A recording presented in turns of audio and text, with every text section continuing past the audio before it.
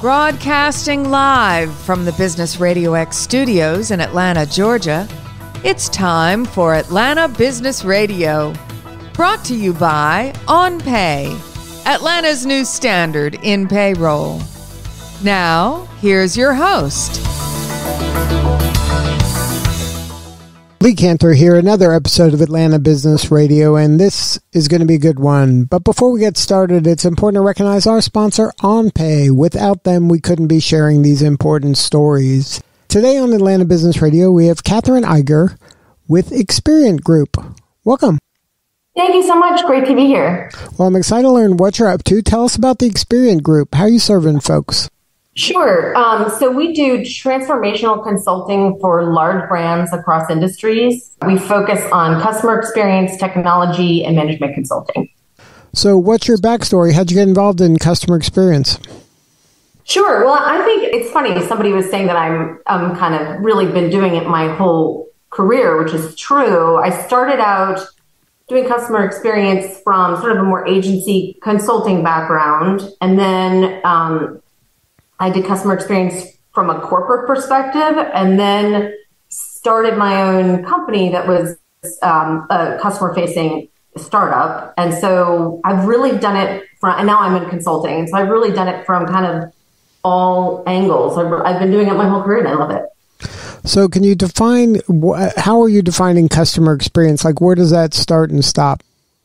Sure. So, so people have defined this differently, but I would say it's how customers perceive their interactions with a brand. So that that can be informed by their interactions with employees, systems, channels, products, and it includes the business impact of those perceptions. So some people would say that customer experience they, they kind of see it as user experience it, it's really it's really much broader than that it's how the entire system of a brand interacts with the customer and how that impacts their revenue.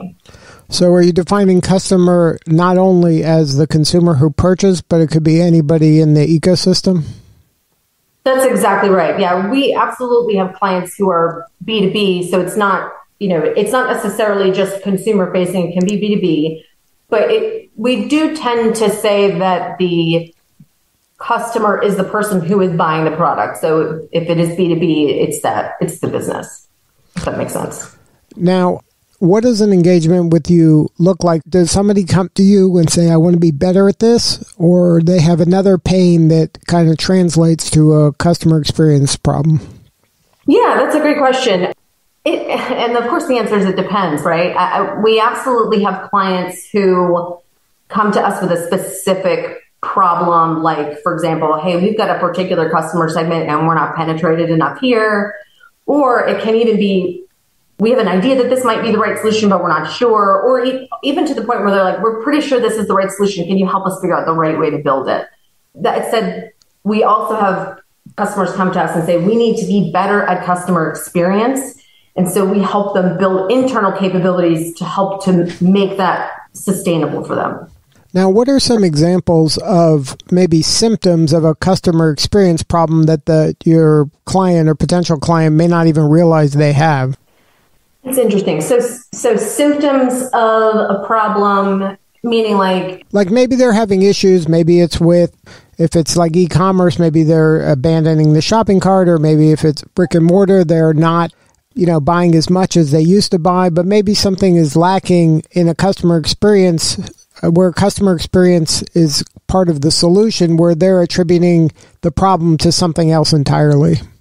Yeah. So one way to approach that is to look at some basic measures of customer experience and kind of go back to, you know, how, how are these baseline metrics performing? So, for example, um, CSAT is one where most organizations would start. So it's really the most traditional metric.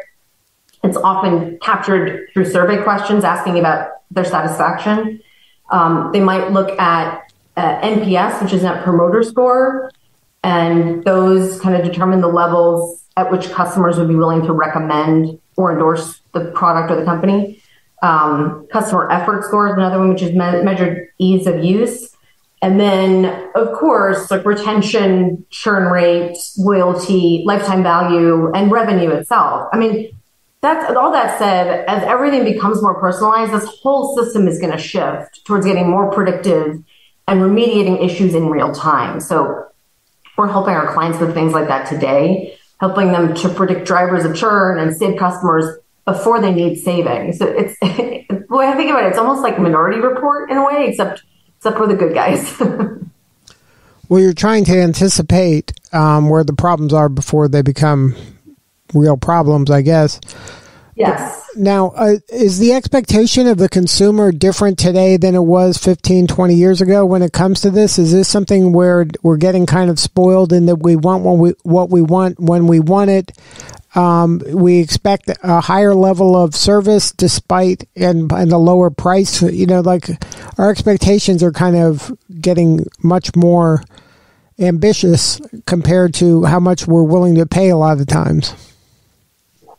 I think that's true. I, I think um, the problem is, or I guess the good thing is, we've got some companies out there who are really setting expectations that that then other companies really have to hurry up and follow. So whereas before we might have been willing to wait in line. I mean, I don't know about you. I, I mean, I can't I can't wait in line anymore. You know, we, we've absolutely leveled up in terms of expectations. So everybody expects for things to be frictionless and seamless across channels and responsive and personalized.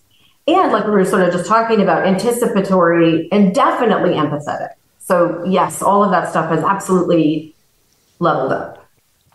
And is that is that because there are a handful of firms that are really pushing that uh, customer experience value line a lot more aggressively? And then like you said it's forcing the whole industry or whatever niche they're in to really follow, or else they get left behind pretty rapidly. I would say so. I mean, I, I know Amazon.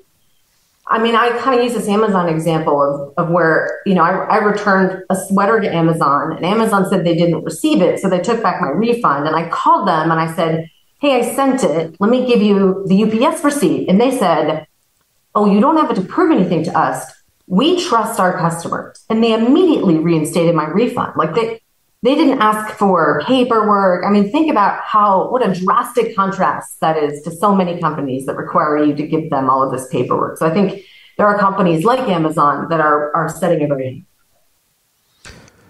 now um, when you're working with a client um, how do you kind of implement something that could be very disruptive to their culture it could be disruptive in their way they communicate. Um, you know, sometimes it requires kind of a drastic change.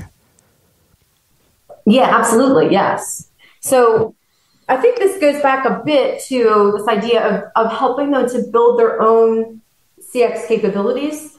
So one big one is is culture and change management. And so um, you know, sometimes we'll work in companies and there will be pockets of folks who are really customer focused and they're kind of pushing against the rest of the company that's not as customer focused. And so one of the things we do is we will partner with them and really help them to lead that charge within the company. So while, on one hand we are helping them to build a new experience for their customers, we're also helping them to change the way people think internally to make it easier for them to continue down that path. Now, sometimes when you're working with a, a client, is there maybe a incongruency in terms of how they think that they're doing and what reality is? Yes, sure, of course. Um, and, and I think that goes back to some of those baseline metrics and really making sure that you are connecting the customer oriented metrics and the revenue oriented metrics. Because sometimes you can have um, customer impacts that will have a trailing impact on revenue and and companies tend to be fine with it until it starts to impact revenue, right? So I'm okay if customers are complaining a little more than usual, but if they start actually leaving, then I'll recognize it's a problem. And that's where it goes back to this notion of, of getting more predictive and really understanding what the leading indicators are of some of these revenue impacting behaviors like churn. Now, how how do you recommend your clients deal with the the social media conversations that are happening around their brand? Because a lot of times, a handful of vocal people could uh, cause a change that maybe isn't necessary, or to that level of change that a handful of vocal people think it is. Yeah, that's absolutely true. I, you know, this does get into a, a, bit of a PR area, but I will say we always recommend that companies track sentiment analysis, which is kind of the aggregate of how people speak about a brand on social media. So always, we always recommend that we that they track that, and we tend to partner with PR to say, you know, we're starting to see this kind of sentiment increasing. What can we do to increase um, what can, we, what can we do to remediate those perceptions within the experience, within the marketing communications, and then also in press facing communications? Now, is there anything that um, a smaller business can be doing? Is there low hanging fruit that you you see that more and more companies could be implementing if they would just take some action around a handful of things? Is there is there some easy wins for a company when it comes to customer experience that they can do on their own? Yeah, absolutely. I mean, I think that there are things like, I mean, I wouldn't say that they could do it necessarily on their own, um, but I think it's not it's not that difficult, and it's certainly a starting point. They could certainly do it on their own if they have somebody internally who knows how to do it. But um, customer journey management is a great place to start. So really getting everybody to understand what how the customer flows through their experience understand that that the customer does not experience the company in silos. They do not experience the company as just marketing or just product management. They experience the company as their own view and they touch all of those things. Um, and so if companies start to segment and and really see the journeys for their customers based on those segments and share that those insights internally so that internally people have more empathy for customers that is a big game changer. You know it's not new technology and it's you know it's not ai but it really does make a huge difference when you have everybody internally that have, some real empathy for the customer. Now you used and mentioned the word empathy several times in this conversation. Uh, do you think that that's really um, an issue for a lot of companies that maybe they knew they had a good handle on who their customer was at one point and maybe the customer is slightly different or has evolved since that point and they're kind of using old information to make new decisions. Oh 100% i mean you know i used to work in a corporation so i i understand this completely. You, you get really focused on what's happening within the walls of your company and you don't think as much about how the customer sees things right? I mean i, I think everybody particularly people who've worked in a corporation can relate to that. I think they they do lose track.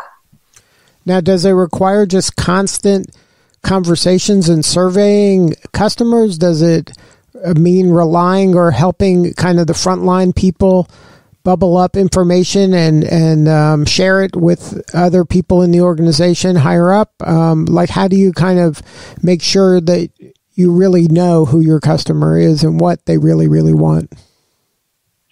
Yeah, so I usually recommend a combination of of quantitative and qualitative. I kind of went through some of those quantitative ones earlier, where um, and they tend to be pretty survey based, based like like CSAT and NPS scores are survey based. Um, you also want to layer in VOC, so a voice of the customer program, where you kind of determine where the right listening points are across the journey and make sure that you are regularly baselining and understanding how their perception of you is evolving. Um, and then you also want to layer in the quantitative side of it where you are talking directly to real people and correlating those two. So, who out there is doing good work when it comes to customer customer experience? Are, are there kind of, uh, you know, you're kind of Mount Rushmore in this area? Sure. I mean, I think that I have different Mount, Mount Rushmores in different areas. I can give you some examples. That that Amazon example is one that I love, particularly because they said to me, "We trust our customers," and I was like, "Oh, I love that." You know, I mean that that really made a huge impression on me. Um, I'll tell you, I bought a bed from Crate and Barrel, and there was an issue with it after the warranty had expired. And they said, yes, this is out of warranty, but we're going to help you anyway. And they sent a bed medic, like who knew there was such a thing, to my house and fixed it. Um, you know, there are things that some restaurants do really well. So when I go to my favorite Thai restaurant, they know my order as well as all of the variants of that order. And they sometimes remind me to order a thing like, oh, don't you remember that you need to order the rice? They, they remind me to order the things that I forgot. Uh, it's funny, like that. This is the thing. Great experiences to me are the ones that this is going to sound a little cheesy, but please bear with me. They are the ones that fill you with joy and optimism about humanity. And they, they make you want to tell everybody about it. Like I, I love telling everybody about this the Crate and Barrel story because it was so good. You know, I mean, they were like, "I got you. I know that this isn't doesn't follow the rules, but I got you anyway because we have a real relationship." And that's why I love what I do because we're really engineering joy. Now, in in the examples that you shared, uh, they, they seem very personal, personal, and they seem very kind of one offs in some ways. Is it mm-hmm. possible to create that one off feeling at scale? It absolutely is, yes. And that's that's really what um, that's really what personalization is. So so personalization is essentially tailoring an experience to an individual based on the information that you know about them. And so that's what companies have to get really great at really fast right now. Um, and so it means they have to figure out what their customer needs personalized. A, lot of companies are very focused on just product rec- personalization is product recommendations. That's not true. Like if you think about um, what you pulled out of those individual stories is that I felt like they were talking to me, right? It felt like a real relationship builder. And that is a part of what personalization is. It's not just a product recommendation. It's, it's really knowing me and having a conversation with me. And there are these capabilities that companies can build that allow them to scale personalization around systems and data and analytics and content creation and things like that. So, um, what are some, like you mentioned, some of the trends, I guess, personalization being one of them and speed uh, being another. What are some of the other trends in uh, customer experience that you're seeing?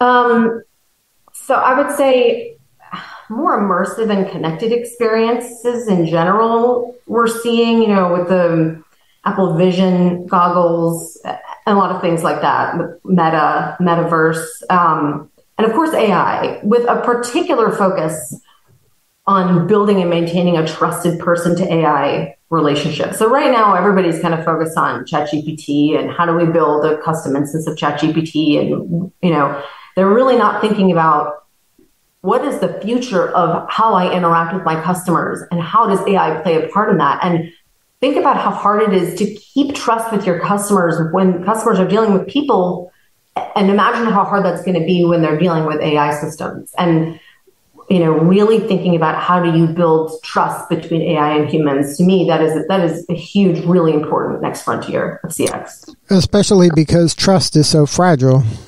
Yes, exactly. And it's the core of all of the things we're talking about right now. Like the thing, the example I was saying about Amazon, when they said to me, we trust our customers, that made me feel like I trust them, right? And that that's part of that the power of all of this is connection. So, um, who is the ideal client for Experient Group? Um, so we do tend to uh, work with larger brands across a lot of industries, particularly retail and QSR, but uh, we have a lot of clients in healthcare, things like that. So it's not industry specific. We're automotive as well. Um, so an ideal client for us is someone who um, really understands um, the value of customer experience and wants to differentiate. And what is the problem they're having today that uh, you'd be able to help them with Sure. So, um, a, a, place that we like to start um, is developing a customer experience North Star and roadmap. And that kind of uh, so often we'll see that people are, and I'm not really great at sports metaphors, so bear with me, but they're skating to where the puck is at this moment in time instead of where it will be by the time they get there. So we'll see people on these big transformation journeys and they're five years long. And by the time they get there, they're going to be at parity with their, where their competitors are today. So that is a, a big problem that we see everywhere. Everybody's doing these digital transformations. And in some cases, they're very behind those people that we talked about in the beginning who are setting the bar, setting the expectations to customers.